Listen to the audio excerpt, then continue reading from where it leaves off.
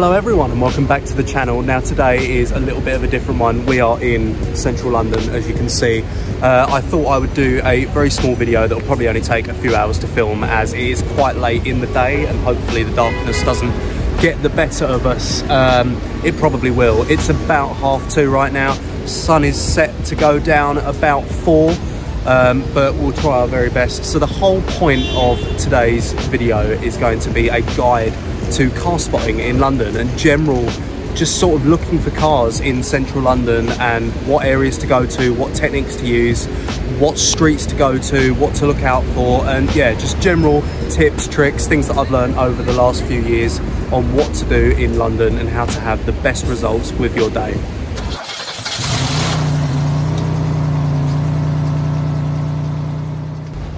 So first things first, the thing I would do personally, what I've done for all these years, is get off the train at Sloane Square, which is behind here. Sloane Square Underground Station. They are District and Circle Line. Uh, it's the best place to start off at because you've got Belgravia just down there, you've got Sloane Street just there, you've got uh, all the side roads behind Sloane Street just in front of me, which is where we're about to go now it's just the best place to start. You've got three huge areas to start yourself off with. There is there is a good chance the second you get off that train, as I say, you will be greeted by something special. It's not that hard. We're, uh, we're, we're, we're going to get into it now.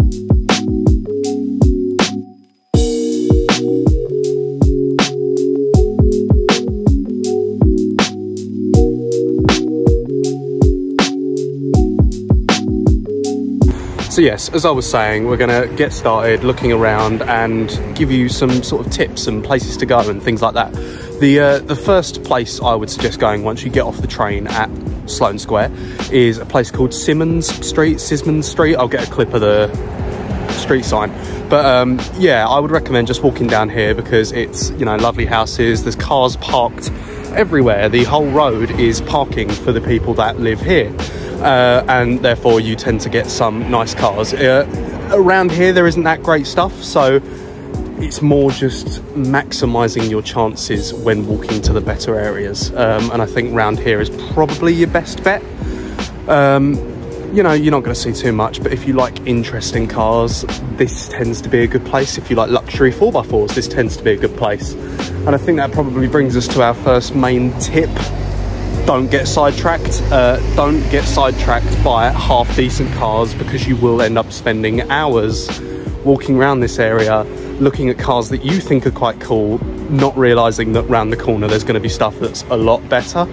Uh, stuff like that. Suzuki Jimny, uh, I would normally spend ages looking at that, but round here I can't because I know that right around the corner there could be something better. So don't waste your time. That's that's tip number one, I think.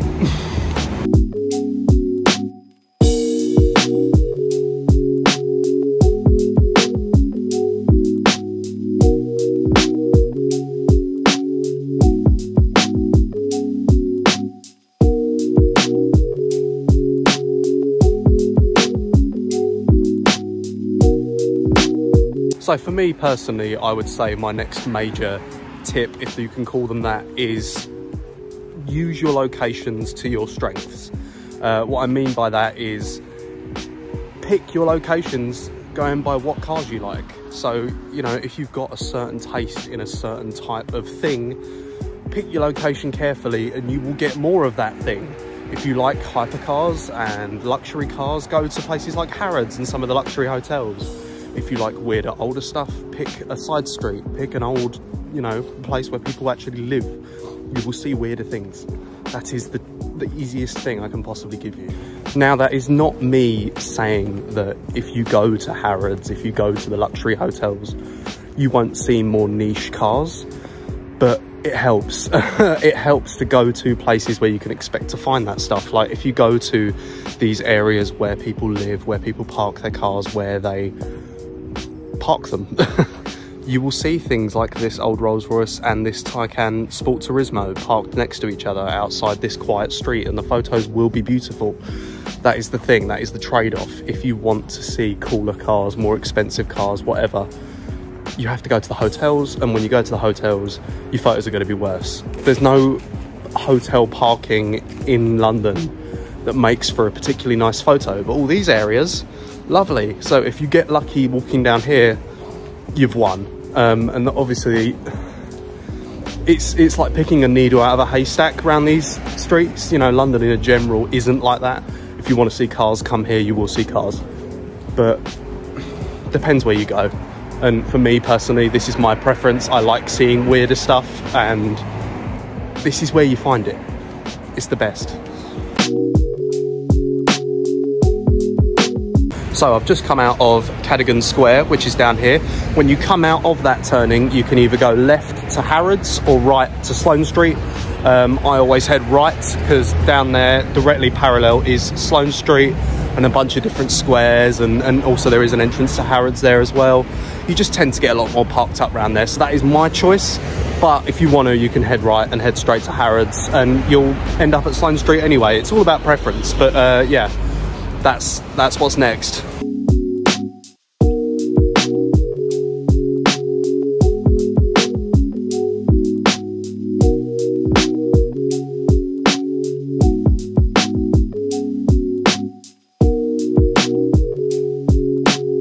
So the main way I like to go is through Hans Place, which is this big sort of circular road with cars parked all the way around it. Um, it just makes things a lot easier to like navigate round.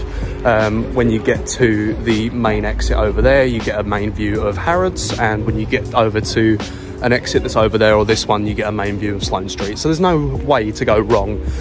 Um, just because I can't bother to walk over there, M5 comp there, if it'll focus, M5 comp. Um, yeah, so we're now heading towards Sloane Street. Um, you know, there's there's actually not parking on Sloane Street anymore, as far as I know. Um, it is Sunday, so I think there's free parking most places. But um, mm, yeah, I think there's roadworks, so you don't tend to get that many cars parked down there. But it's always worth a look because you never know what's going to be driving down there.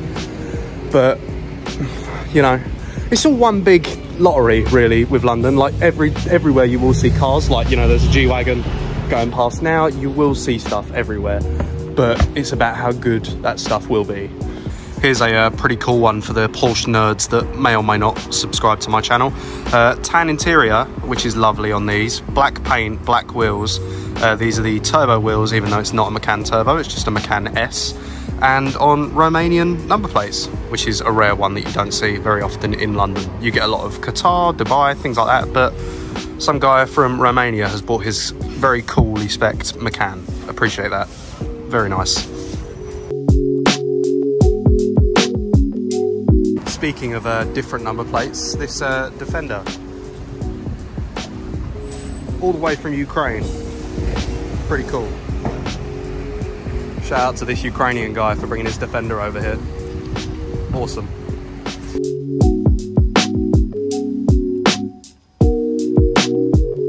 So I'm now on the famous Sloane Street. Uh, back in the day, we used to sit on these two green boxes right here and the road would be absolutely swamped with cars parked either side. But nowadays, not so much. Uh, so if you ever hear people going on about Sloane Street being the hub for great cars, there's a lot of nice cars around here because there's nice shops, but not so much on this actual street. So don't don't waste your time sitting here for hours anymore. Those years are gone unless you've got a time machine that brings you back to 2016. No good. Avoid Sloane Street. That is tip number four or three. I don't know. I've lost count. Before I forget, one quick reason to not avoid Sloane Street is this pub right here. Uh, when you're car spotting, obviously you will need food and drink uh, that isn't an extortionate price because we can't all eat out in Harrods. That pub on Sloane Street there does a very competitively priced burger uh, that's very good for lunch and obviously the whole place is covered in windows so you can still look out them and look down on Sloane Street and enjoy everything round here. Um, but yeah, that is another good point that I probably should have mentioned. Food, you will struggle to get a decently priced meal that isn't McDonald's. So if you're coming car spotting a lot and you don't want to keep eating takeaways, you might want to start bringing your own lunch. Uh, but yeah, that, that pub on Sloane Street is pretty good for a burger or chips or whatever. It's good. I've had many meals there, but let's be honest, the second you sit down to eat food, you want to get back up again to go and look for cars that you might be missing. So we'll pretend that you want to sit and eat food and I've totally lost my train of thought because I've just seen something really cool. I'll go, I'll go and show you now, it's over here this is the best thing I'm gonna see today. Screw the Rolls Royces, screw the Ferraris, whatever. This, this is so good. This is the Citroen Ami. I've wanted to see one of these for a long time, but being where I live, these aren't particularly popular because they are great as an electric city car. Uh, ignore the sign that the Citroen probably crashed into. these things are awesome. They're two seats, uh, reverse doors like a Rolls Royce. They start from something ridiculous at like 20 pounds a month. Um, yeah, they're really, really cool. And shout out to the person that bought this because it's hilarious. They've got a top speed of 28 miles an hour, I think. They range for about six grand if you want to buy it outright. I love it. So we've just left Sloane Street now, and once we get to the top of the road, we have turned right. Uh, once you have turned right, directly to the right of you will be the Park Tower Hotel. Uh, that one's always worth a check. Uh, if you go down past it, there's parking behind the Park Tower. Uh, always good to check it, you never know. I just had a check and there was nothing there, so I didn't feel the need to film because all the security guards would probably think I was a little bit weird filming their hotel when there's no cars parked out the front. Um, and that brings me to actually another point to remember. When you're in London, don't feel weird about filming. Uh, not only is it a capital city, so everyone is filming, everyone is taking photos of everything, so you're not going to look particularly abnormal. Um, I don't really know how to explain it. People around here know about car spotting. No one thinks it's odd. In your local area, it might be a bit weird to get a big camera out and start filming people's cars, but around here it just doesn't happen. There's no there's no weird looks to it at all. People come over here a little bit for that, as well as for a holiday and being able to bring their car out with them. People do it a little bit for the attention. Who doesn't like a nice picture of their car while they're on holiday? And I don't know. It's just part of the culture. There's a little bit of a, a car spotting culture in Knightsbridge and Mayfair, and it's accepted and it's loved, and no one around you will be thinking that you're in any way odd for doing it and therefore just enjoy it don't worry about what you're doing don't not film in certain situations because you think people are going to think you're weird just do it because you'll regret it. And you'll go oh I'm, I, I saw this car but I didn't film it because it was weird or whatever. Don't don't do that. There's loads of us. There's car spotters everywhere. I've seen like 10 of them already.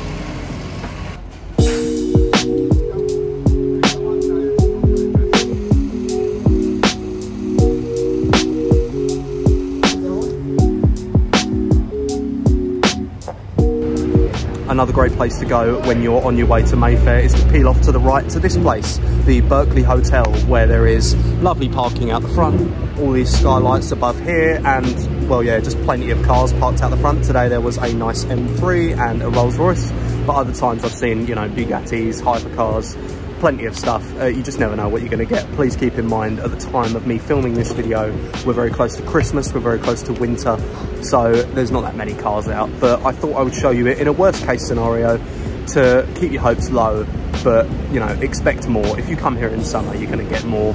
But I still encourage people to go because the more you come, the more stuff's going to be out. It's it's as simple as that. The more you look, the more you find. So don't don't miss out on opportunities to see cool stuff just because it's a little bit cold.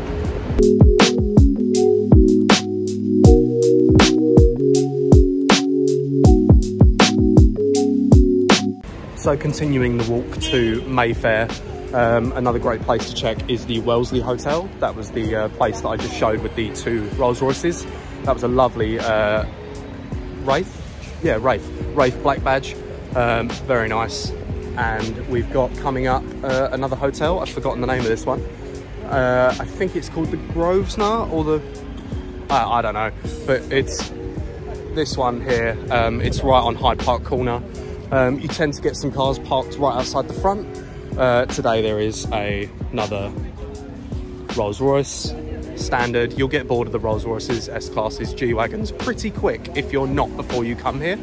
Um, you'll realise that pretty much instantly uh, the second you come to London for car spotting if you've never been before. You'll stop taking photos of Rolls Royces after about 10 seconds. Um, it's ridiculous. Like right now, right where I'm standing, I've got two over there, one there. There's a Phantom in traffic just over there. It's they're everywhere. It's not rare. um, yeah, you'll you'll see about a million pound worth of Rolls Royces within the first 15 seconds of getting off the train, I think. So avoid that. Avoid taking photos of every Rolls Royce you see because you'll very quickly run out of storage. I did that the first trip I made. Uh, and yeah, the Rolls Royce has got the better of me. Uh, there's another one there. It's, it's ridiculous, they're everywhere. So next up on our sightseeing of car spotting locations, we have Hyde Park Corner. Uh, it's basically one big roundabout. It's it's mayhem. You will get some cars here, but you know you have to do your waiting because the traffic is very slow. So if you want to sit here for half an hour and look out for stuff in the summer, great. Uh, I do it every now and again. There is some good stuff that turns up here, but the the main thing that this leads onto that people do like looking at is uh, Hyde Park um, and Park Lane that runs next to it. Um, I'm sure you've heard of Hyde Park. Um, sorry for all the noise, by the way. It's very noisy in London.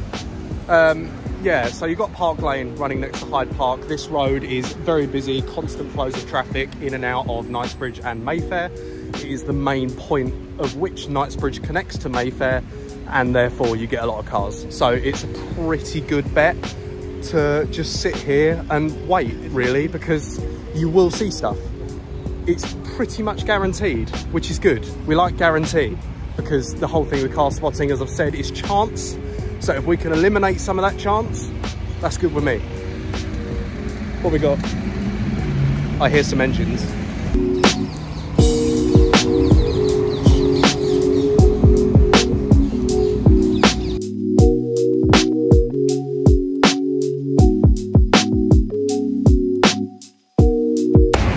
So we are now in Mayfair.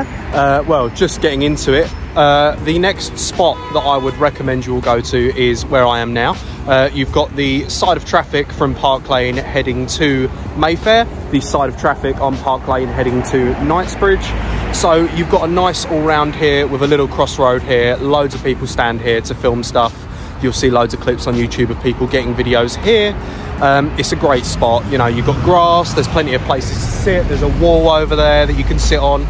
It's lovely in summer, you know, you've got the trees and everything. There's a little shop, like a petrol station over there. Um, there's, yeah, it's just plenty to see. We've got a, a weird one here. Ineos Grenadier. Haven't seen a Grenadier in a while, but um, yeah, so this is a great spot to stand. You you will see cars. Um, like I keep saying, it's not a busy day today. It's cold, it's winter, it's dark. You're not going to see much. But um, in summer, this is the place to be. Um, I'm just sorry that I haven't got much to show you today. Um, but yeah, this is this is my next spot. Try it out. You will have luck.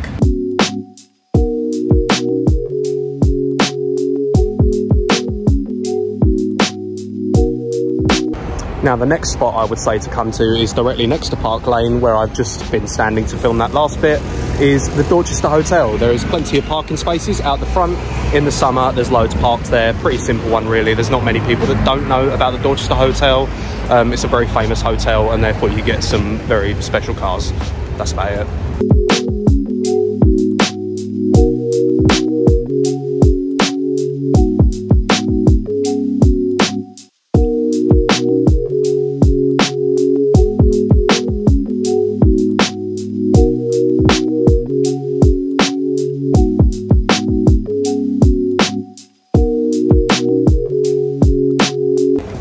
So the next spot we have once you've gotten away from the Dorchester Hotel and walked a little bit further into Mayfair is Mount Street. Now Mount Street is quite a famous road because it's full of plenty of expensive shops and cafes and restaurants and pubs and things like that. But there is, again, as always, plenty of cars parked down here. It's one of those roads with parking all the way down the road, both sides. So plenty to see. Um, there's never a dull moment down here. Uh, you know, just walking down here now, what I can see is Rolls Royce Cullinan right here. We look over the other side of the road. We've got Maybach, GLE, GLS, whatever they're called, behind this Mercedes. We've got a 911, 997. We've got uh, just behind the grey Cullinan, we've got another Rolls Royce, uh, another Cullinan, another Range Rover. There's plenty down here. It's every other car. Um, it's non-stop there's a, uh, a Kahn Design Defender next to me, which is pretty cool. Uh, hold on, I'll get a better look at this. Here we have the Cullinan the other Cullinan and the Range Rover. And then here we have the Kahn Design Defender on the Kahn wheels. Pretty cool. And in front of it, the GLS 600 Maybach. Uh, quite the selection of 4x4s here. There's about, wait, hold on, let's work this out. About half a million, half a million, 150,000, about another 100,000, and about a quarter of a million. So there's about 1.5 million pound in 4x4s just out of these five. So you will see a lot parked down here. A little bit further down, we've got other Range Rovers. We've got a BMW M2 comp by the looks of it. Yeah, it is a competition. Uh, this is on Qatar number plates gold wheels, little livery on it. This thing is awesome. We've got another Defender. There's plenty down here. I see an S-Class coupe down there. We'll run down the cars down this street, all of them. There is a Urus coming in purple. I'll let this go past.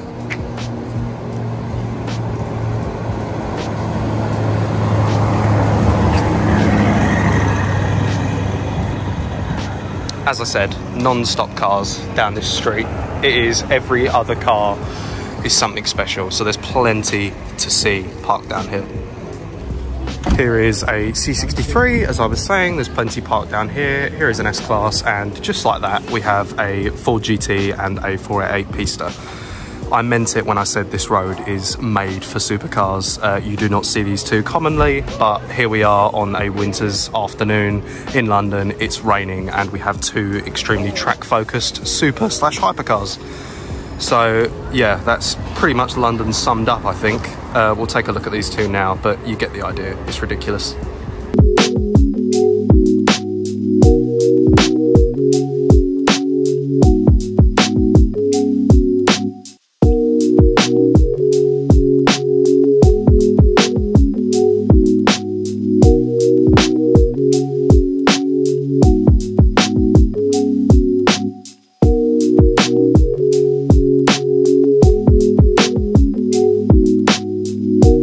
So I don't think I need to say much. Obviously, Ford GT 488 Pista, quite special, especially this time of year. You don't normally see things like this.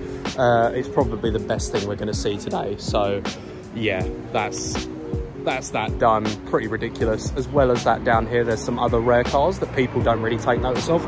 Uh, G-Wagon Cabriolet here. This is pretty rare. You don't normally see those. Uh, we'll take a look at that now.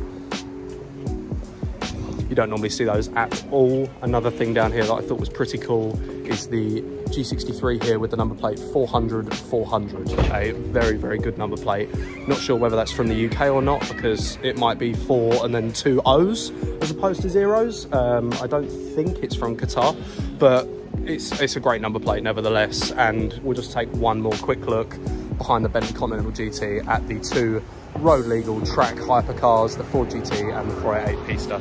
Absolutely nuts. Well done to the owners for actually driving them in weather like this. So wrapping up Mount Street, that was everything that was parked down Mount Street. Uh, behind me we have a Maybach parked up, if it'll focus, just there. Um, and just after that we have this hotel that is on the corner. Um, a lot of people know this one. It's the one with the big fountain out the front. Uh, do not make the mistake of sitting on that thinking it is a bench. It is basically a lake. Um, it's about three inches deep of water on the top, so don't make that mistake. But um, yeah, so this hotel is always worth a check as well. Uh, plenty of cars around at all these spots. Um, it's just it's just worth checking because you never ever know. I'm going to say that over and over again. You never know. You don't know what you're going to find, and it's worth checking all these places because you might find something special like a Ford GT and that's pretty much my day made I think. We'll show you a few uh, other spots in Mayfair as I was saying and we'll find another couple of spots where cars normally park but that'll probably be pretty much it for today uh, in terms of cars because that is pretty much the best we'll see. So after Mount Street it is pretty much essential to check out Berkeley Square. Um, it is a large grass-centered square, uh, parking all the way around it, again, so somewhat guaranteed to see some cool cars. Um, you've got the Ferrari dealership over behind me. Uh, you've got the Bentley dealership and tucked around the corner is the world's smallest car dealership. But the reason it is small is because it is the dealership of Bugatti. So we have the Bugatti dealership. So if you come to London and you want to see a Bugatti, uh, one of those is pretty much guaranteed. Um, if you want to see Ferraris, uh, Rolls Royce, Bentley, there are dealerships over there for that as well. Um, as I said, you've got cars parked up all the way around this square. Um, it's busy around here, so you will you will see stuff around here. But yeah, that's my uh, that's my next spot. This area here, Berkeley Square.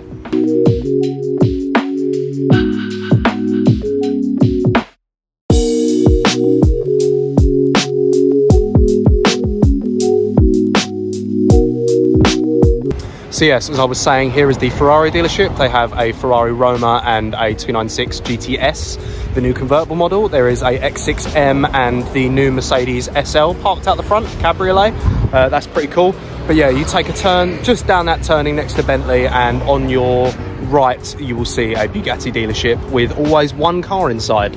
Uh, the glass on the doors is ever so slightly misted up so you do have to peek through the middle to see. But um, yeah, you will see a car down there.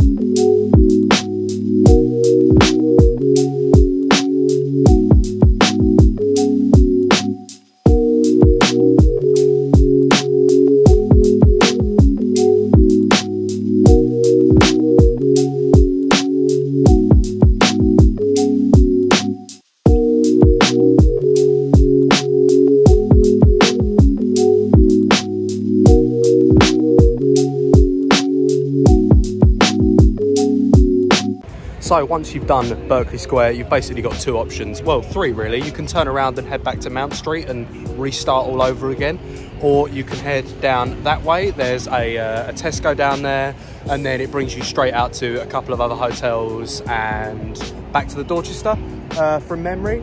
And then the third option, the one that I tend to go for, is going down this street here, where there is a fairly large hotel, and then it slowly loops you back round to Knightsbridge, and you start all over again that is basically what car spotting is. If you couldn't tell from those three options is it's basically do that route and do it again and again and again until you get bored find a road that you've been successful on sit there for 20 minutes see what you see. If you see a lot stay there for longer. If not move on.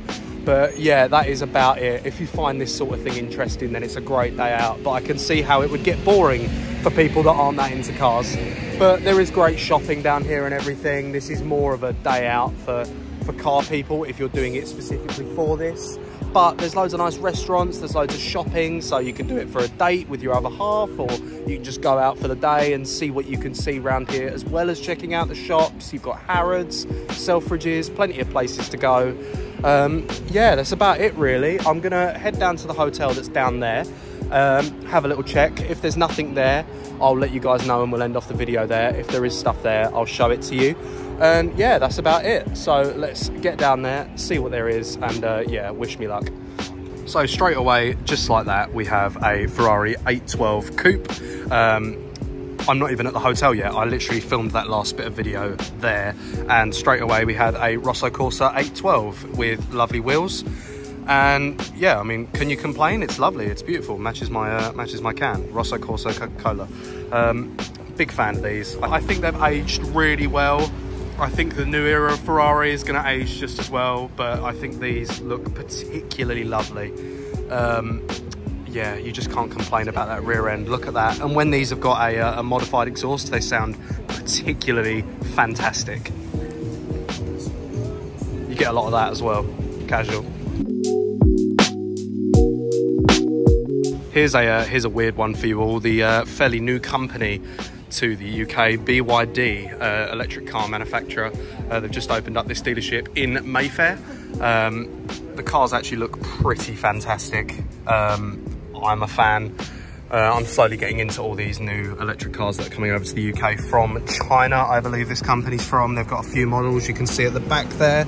A nice 4x4, a uh, smaller sedan, and then this, the flagship model. Uh, I don't actually know the name of it. I'll pop that up on the screen. But yeah, these are pretty good looking cars, and I think the range is pretty good as well. So today's very last spot is this hotel here. I should mention there is a JLR dealership there and a Rolls-Royce dealership right next to me here. But the most successful spot of today, I thought the Ford GT was going to be the best thing we saw today, but apparently not. Um, we have at this hotel a Land Rover Defender, lovely.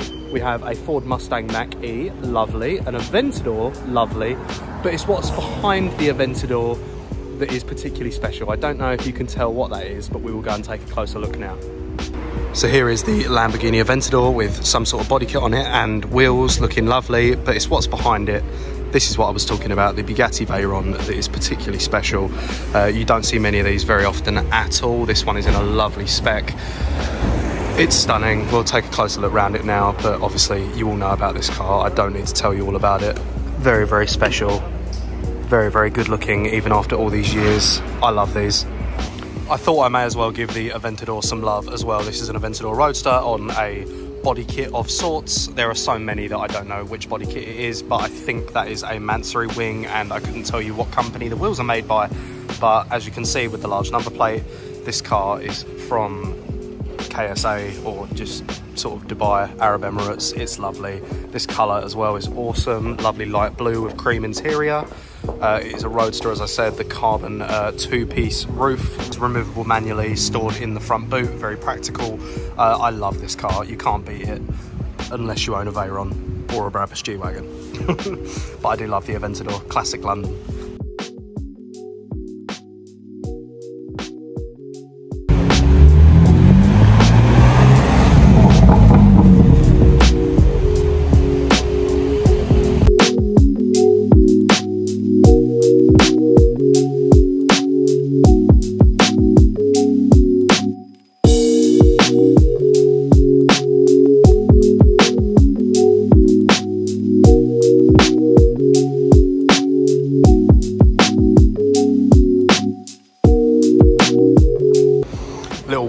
Probably only I would notice while we're looking at this Veyron. Here we have a Lincoln. Don't normally see those in London. Absolutely huge. Really cool. I think this is the perfect example of how you should be coming London, even when the weather is like it is, even when the time of year is like it is. Uh, it's just worth it. You, you really don't know whether it's Christmas, raining, or summer, hot, what you're going to see and I definitely don't think it's worth giving up when it gets to these sorts of times of year because well look proof is in the pudding. It is unbelievable what you can see around London any time of the year any street. You just have to take the chance and it pays off because wow look at this car. The spec is unbelievable. As I said chrome and black wheels, this sort of like dark grey and blue rear section, polished chrome front.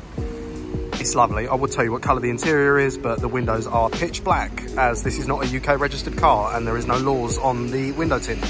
Um, it's, it's unbelievable. I mean, there's not much more I can say about this other than, well, look at it.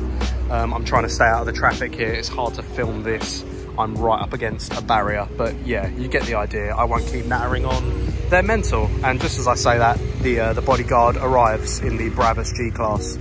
Uh, quite the pair. It's, it's madness. It's nuts.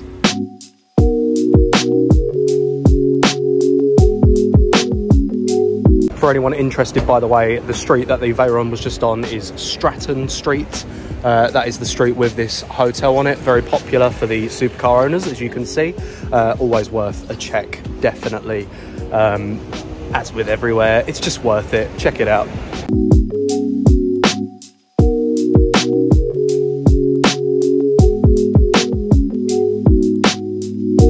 Next to Stratton Street is the new Rolls-Royce Spectre. Uh, big fan of these.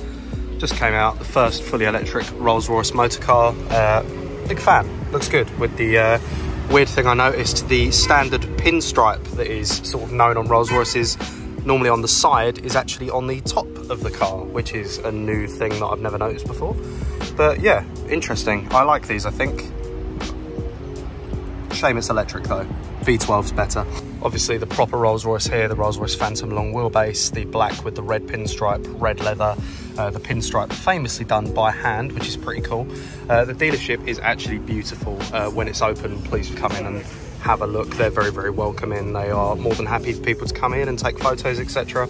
Uh, definitely worth a look when it is open, as I said, because it is closed now. This is basically the end of the line when you want to start turning yourself around, restarting that route that I've shown you today. This is uh, Berkeley Street connected to Berkeley Square. You'll know you're on the right street because you will see the Lotus dealership. Uh, outside the Lotus dealership, by the way, I thought it'd probably be best to mention the new uh, Lotus Elytra, uh, the new Lotus uh, Emira, that's the word. Uh, the new Emira and the new Emeya. Um, very cool cars. I haven't seen the new saloon in person yet, so that's pretty cool to see. Um, I've seen the Emira and I've seen the uh, uh, Electra, Electra, Elytra. I don't know. I've seen the 4x4. Um, Lotus are doing great things at the minute. Um, I really can't see a reason why they won't be more successful in the future with these three cars. Um, I think they're going to do amazingly in the future.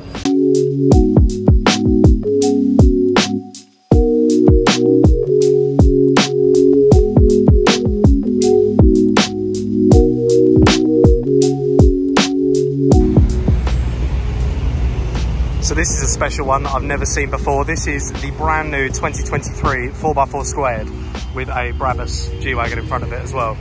I've never seen one of those before. Very, very excited to see that. Very cool.